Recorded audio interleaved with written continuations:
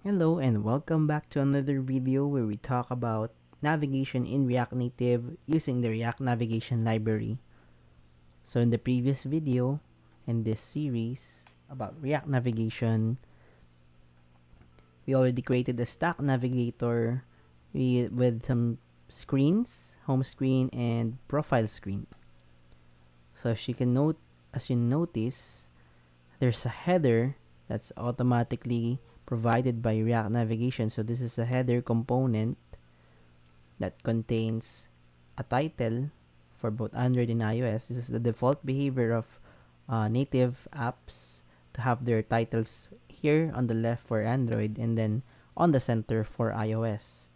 And then for the back button, there's also a native behavior or native UI design for the back button on Android and for iOS. So in this video, we're going to be exploring how to override the default settings or the default styles of the header bar as you can see here. So let's get to it and what better starting point to be in than the documentation. So before we go into the documentation, let me remind you again that this environment is in the repository on my account. The link is in the description below. It's called Expo Playground and I'm currently branched out to the stack navigation demo that was in our previous video. So feel free to check that out if you want to recreate your own uh, stack navigation setup from scratch. But for this video, you'll be starting here where we left off. So let's go to the documentation of React Navigation. Yep. So here, just click read the docs. And conveniently, the section where we configure the header bar is just around here called configuring the header bar. So we click on that. And the first section is changing the options with regards to the title. So, for example, if you're not satisfied with the title by default, which is, as you can remember from the previous video, it came from the name of the route. So the default behavior is to take the name of the route and place it in here as a title. So what if you don't want that? You can override it by specifying an options prop that contains an object with the field title. Alright, so we'll try it now. But first, we have to format due to our screen size or window size of the VS Code. So under component, just press options and then create an object. Press enter. And then this is where you'll specify the title. So for example um, on our profile could specify your account.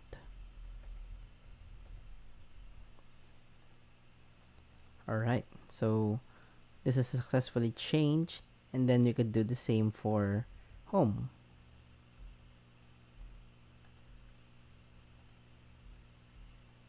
can copy paste the same code. Why don't we make it like for example dashboard or something? So we change the titles for both screens by specifying their respective options prop and passing in a title to both. So we've successfully modified the header bar for the first time.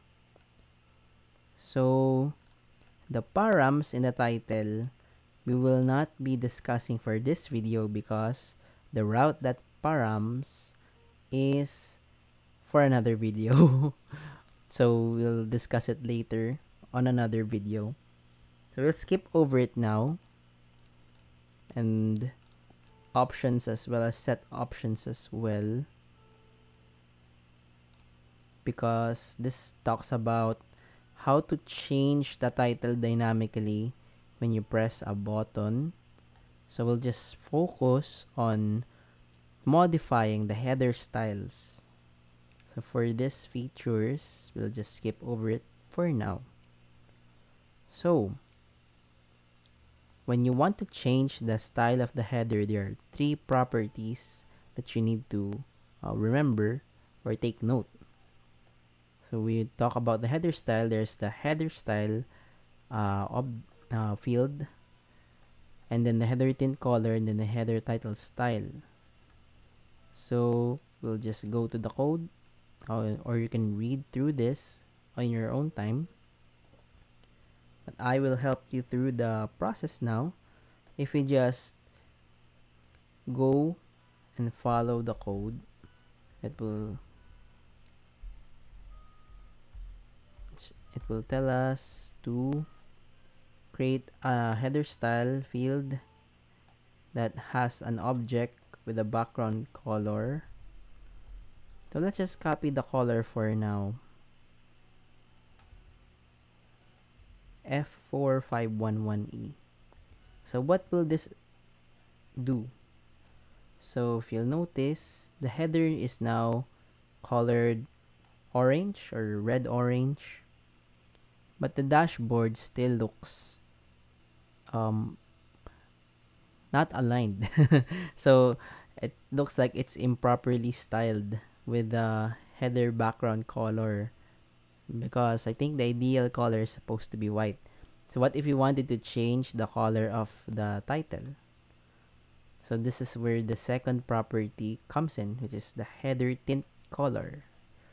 So header tint color changing that to changing that to all F's either lowercase or uppercase. So this will make the title color white instead of the default black. So that's the purpose of header tint color. And then for the header title style. So the header title style is the style of the text component that React Navigation provides when rendering the title here in your header bar. So header title style. Change the font weight to bold. Bold. So you can see immediately what it does. It just changes the font weight. So what if we want to change the font size? Well, that's also possible as well. Make it 24 it will be super obvious. So let's just keep it a bit larger. 18 so what if we want to since it talks about the text style why don't we change the color from here? So what if we remove this header tint color just do some experimenting. What if we wanted to change the style of the dashboard color again? But here so what will happen? Let's just make it consistent with the background color. So let small letters. So dashboard became white. So if you'll notice the header tint color and specifying a color property inside the header title style accomplishes the same thing so you can choose between what you want to do. Okay. So hopefully that's clear. And let's just look when we navigate to the profile screen now. If you go to the profile screen, you'll see that the style is inconsistent. So this is a um, undesirable user interface if we go to the dashboard here and then go to a new screen with a different looking header. So that's a problem and one that we can change by applying the same thing. So we can copy the style here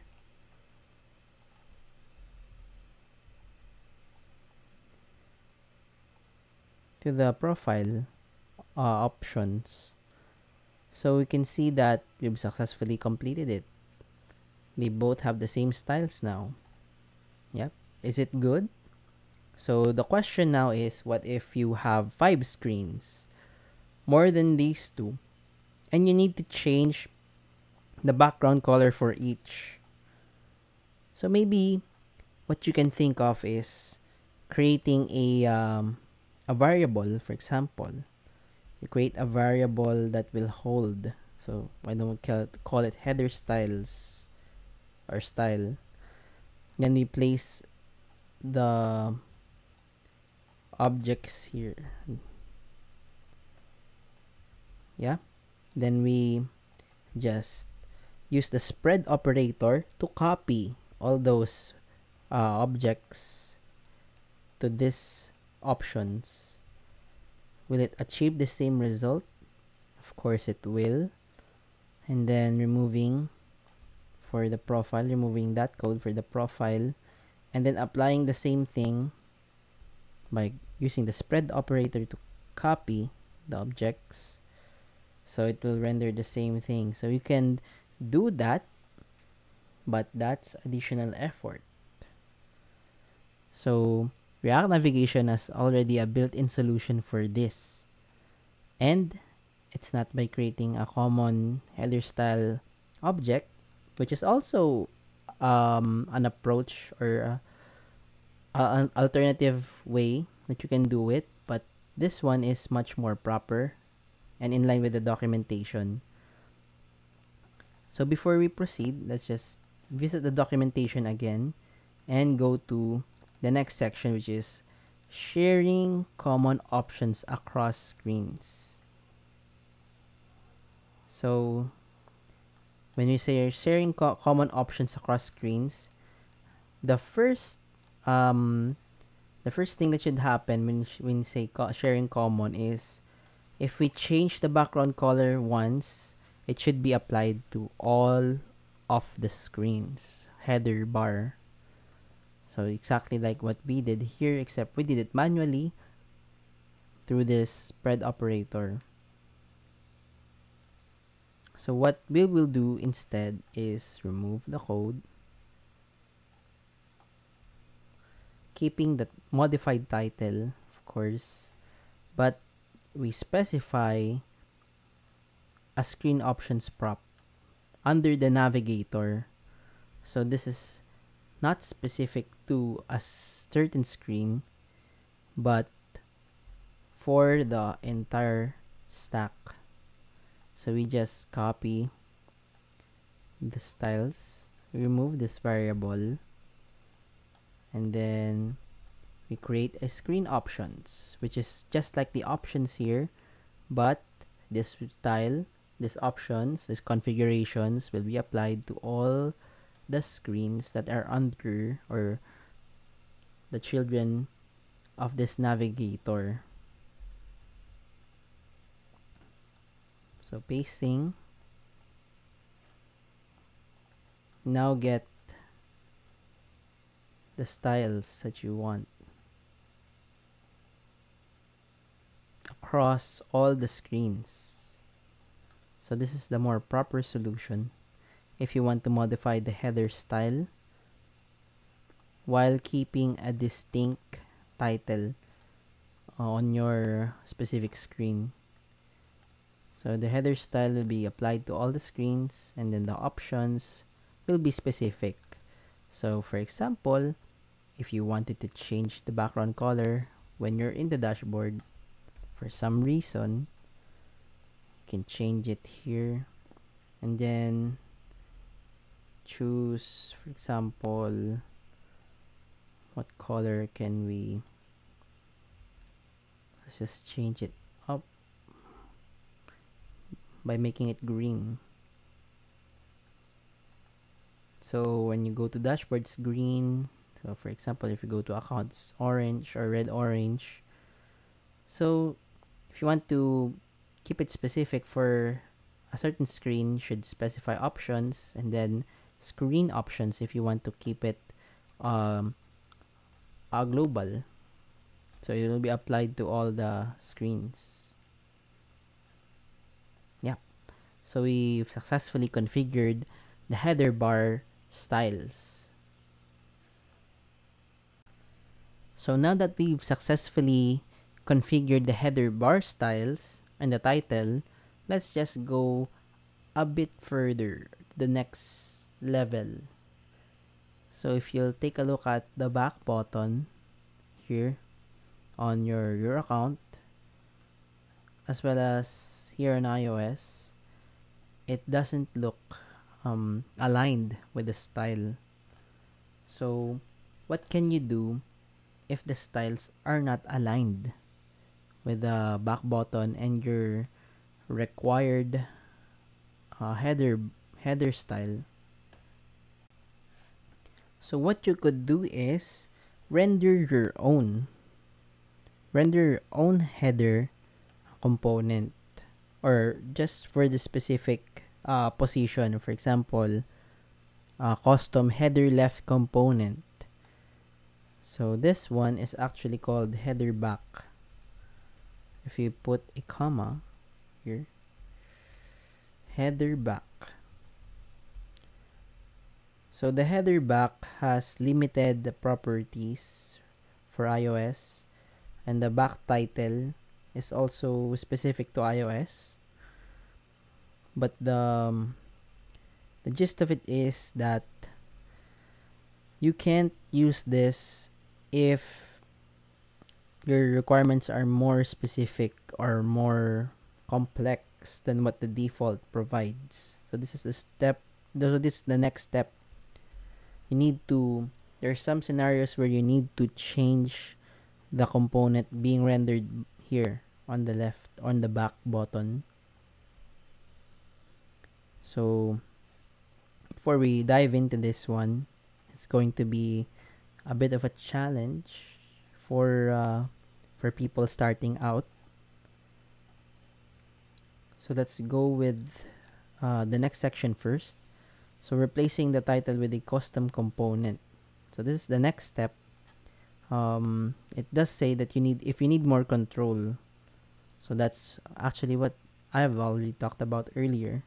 You need to control what gets rendered and not just the default components. So for example, the one that the documentation changed was the component here. He replaced it with an image containing a logo of React Native. But for us, we can opt to change it with a uh, simple can opt to change it with a simple text component for example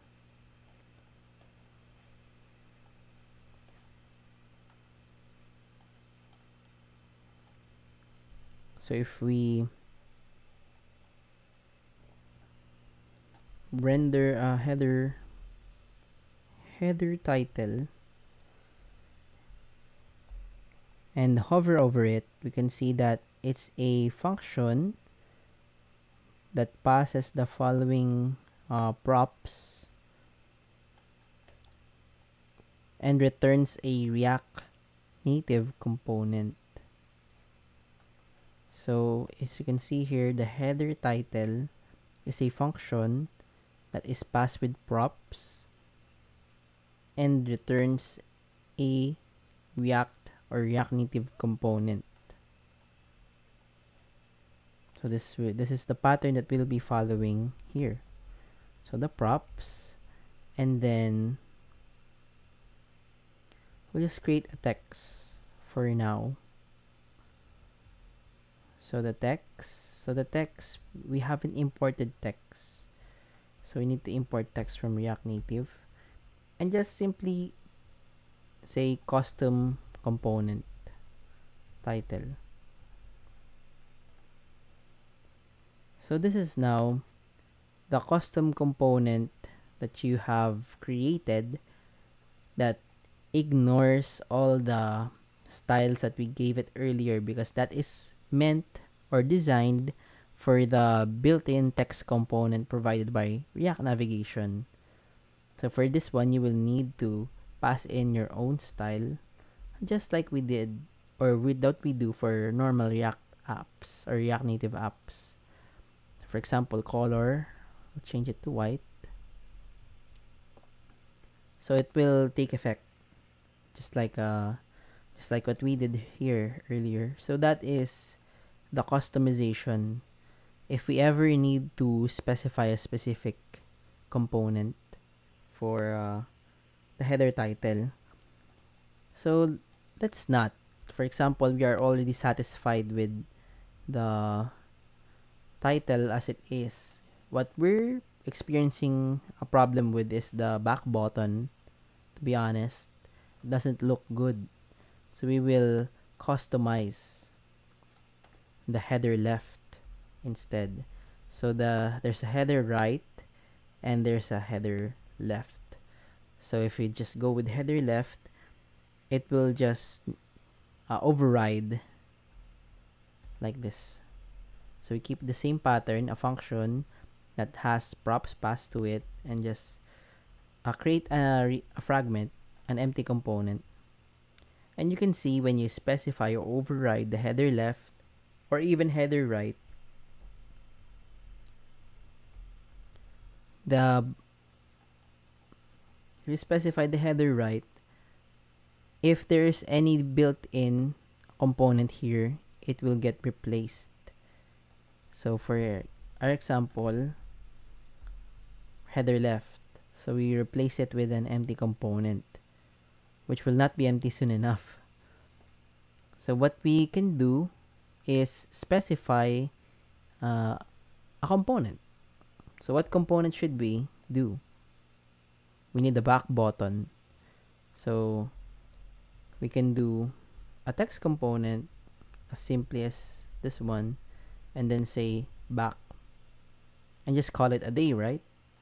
But of course, if your app wants to be good and follow uh, standard UI for designs, for example, it should be an icon.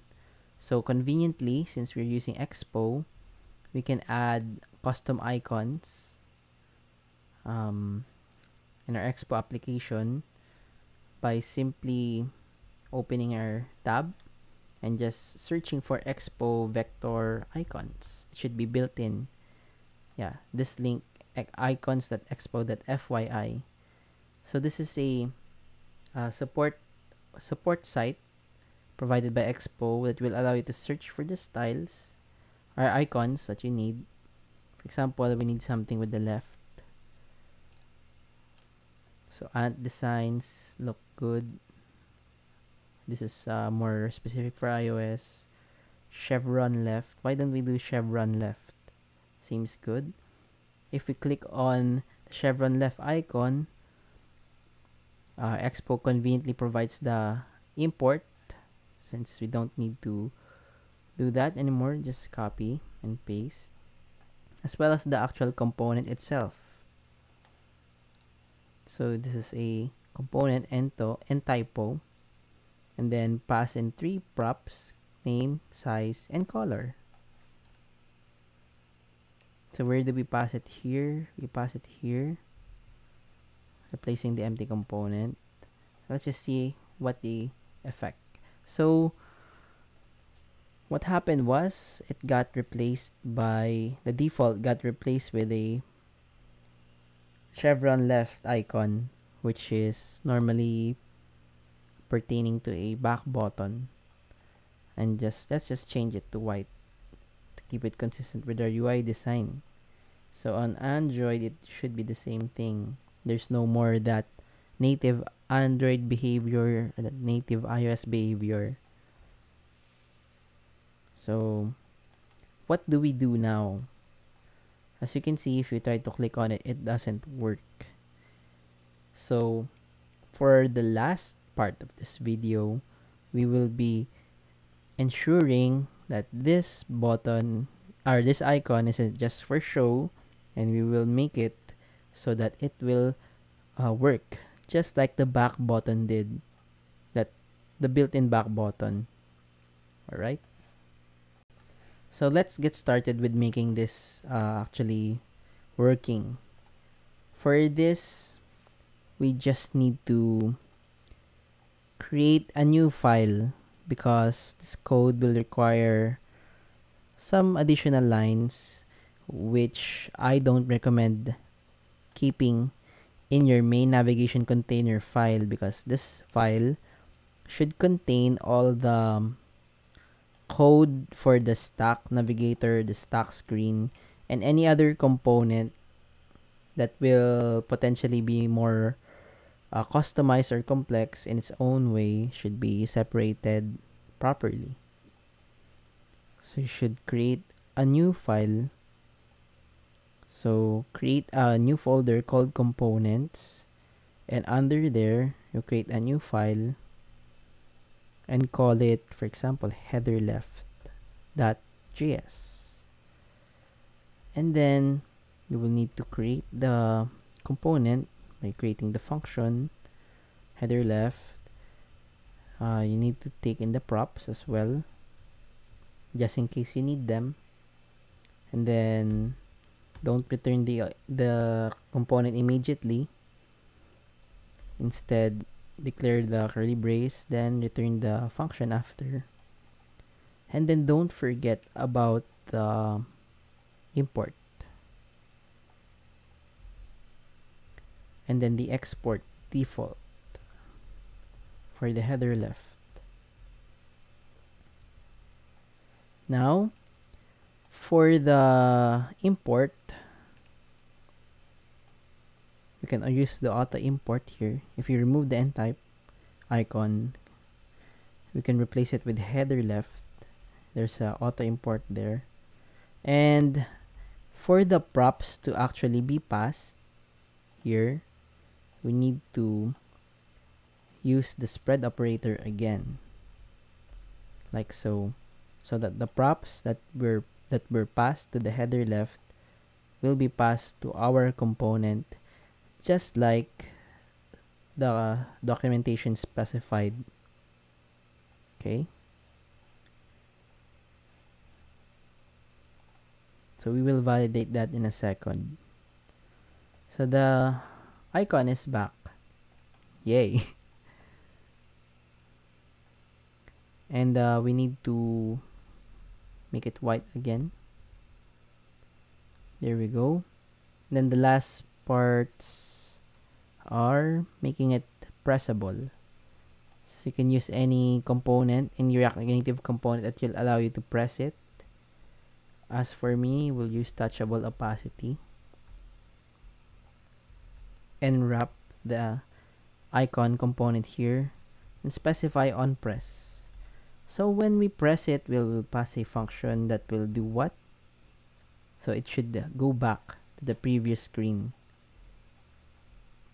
So for now, we just want to validate what the props contain. So we'll click and we can see the following uh, properties, props. So it's an object containing a field called can go back, a property called label, a property called tint color. So for whatever reason, if you need that, you can access it since we already passed the props here using the spread operator. So the problem is there is no navigate prop just like we did see in uh, the other screens. So props that navigation that navigate and for profile that go back. We actually need the that go back. But the problem is the header component is not a screen.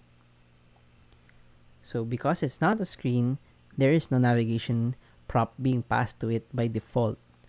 So how do we get a navigation object when we don't uh, when we aren't in the screen or we aren't in a stack that screen so we can use uh, a tool provided by the React navigation library called uh, use navigation hook. So to, to use that you just create a variable named navigation conveniently. And then can be whatever you want name you want but it's more proper to use the navigation since it does it will do navigation. And just call the use navigation hook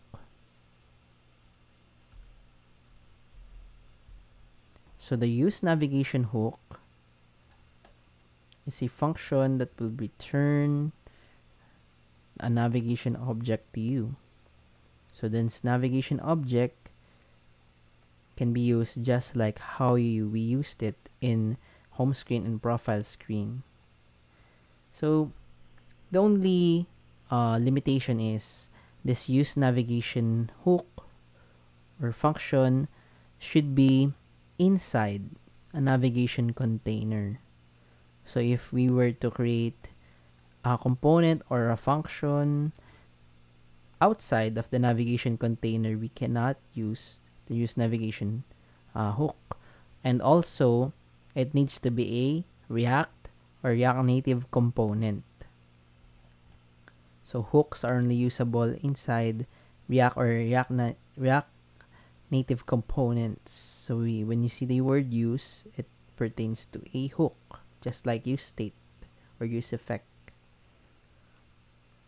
So there we go. We can use it just like the normal navigation. So go back.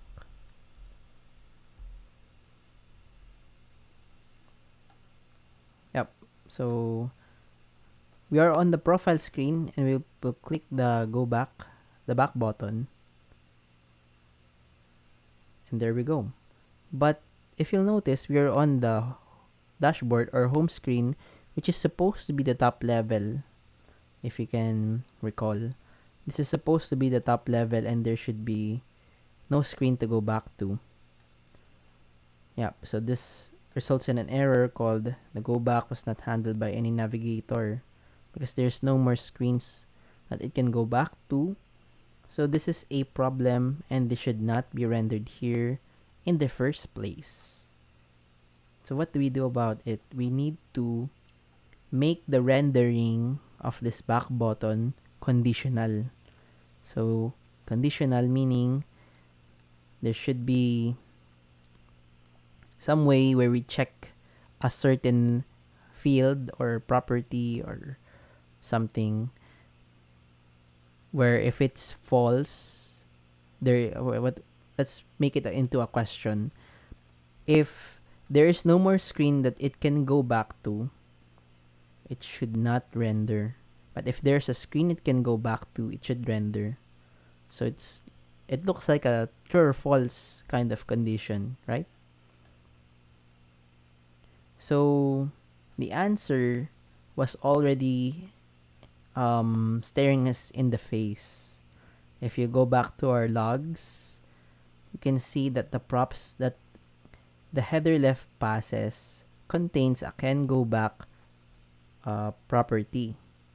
So this property is a boolean, true or false, that if you if we try to comment this out again and just print the props when we are on the dashboard or the home screen and we click the dash the back button we can see that the can go back is actually false so with that we can establish our conditional rendering.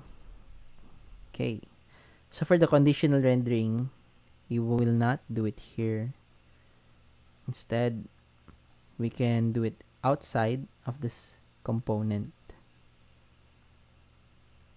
So there are two ways or two ways that I can show you how to do it. So the first one is using the ternary operator.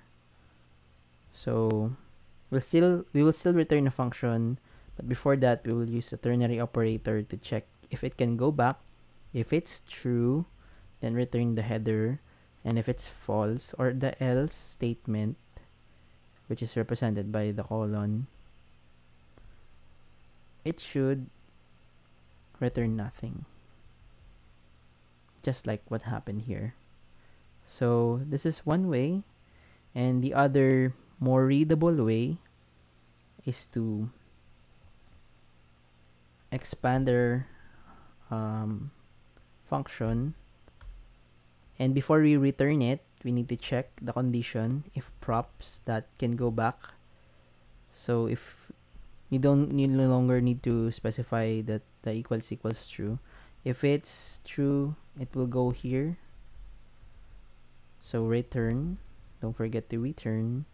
And then else you can return nothing or null. No value. And then go to profile. It should appear here. Go back. It should not appear here. And you can omit this code so going to the profile screen it will render. If it doesn't nothing will render which is great. Yeah we successfully did it. We specify the custom header left component that override overridden or override the back button component the default back button component here. So yeah that's it so you've successfully learned how to override the default header style header styles the title style and even creating a custom header component in order to satisfy your UI requirements and even including conditional rendering for um, the top level screen. So thanks for watching and in the next video we will be exploring the route parameters. So but if for example if you're the the dashboard screen and you need to go to the profile screen but before you do go to the profile screen you need to pass some additional data like uh, user data user id or something um, anything like profile name profile information. So passing data from one screen to the other. So make sure you stay tuned for that. And uh, yeah thank you for watching. Please don't forget to like share and subscribe. Thanks for watching.